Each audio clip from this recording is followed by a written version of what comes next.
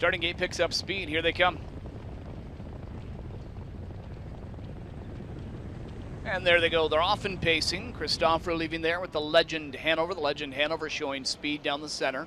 Inside, Island Beach Boy looks for a good beginning, but he's going to have to push on through because others on the outside driving on. Do you see it?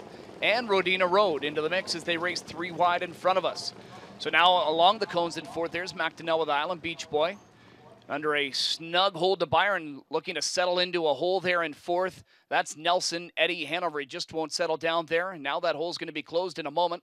There's Big Bang Boom and a retreating Rodina Road in the backfield. JT's Jet, 26 and 4 opening quarter. And it's the legend Hanover with the lead. He opens it up a length and a half over Do You See It? Break of two to Island Beach Boy. They all get settled now, including Nelson Eddie Hanover, got into fourth. Big Bang Bang, the fifth one. Then it is JT's Jet on the trailer Rodina Road. Coming up to the midway point, chasing the favorite, the legend Hanover at four to five. He leads it by a length and a half over Do You See It? Tightening up now in third is Island Beach Boy. Staying in fourth under that stronghold still is Nelson Eddie Hanover. JT's Jet is first over. Might get McDonnell to move, and here he comes. First over with Island Beach Boys. They go by that half and 55 and 4. So cover supply to JT's Jet. Third over from the back Rodina Road trying to scoot out the inside there is Big Bang Bang with nowhere to go right now. Then it is the legend Hanover on top.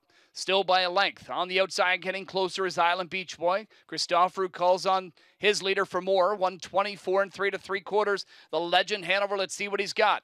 Island Beach Boy on the outside, getting closer. Locked up in the pocket there's Do you see it? He is overloaded with pace. Absolutely nowhere to go as McClure is just flattened the bike and off cover. JT's Jet is closing down the center at 12 to 1 for Plante. Here comes JT's Jet to sweep on by, and JT's Jet will pull off that 12 to 1 upset in the eighth race. For second there, trying to hold on was Island Beach Boy from a charging Nelson Eddie Hanover. Then the favorite, the legend Hanover, 152 and 4 for JT's Jet.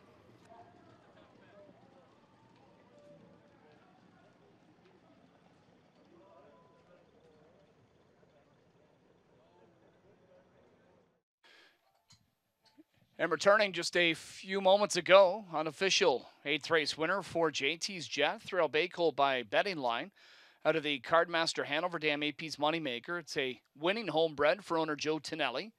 Winning trainer Gabriela Sasso, JR Plante engineers that upset victory. First win of five tries this year for JT's Jet.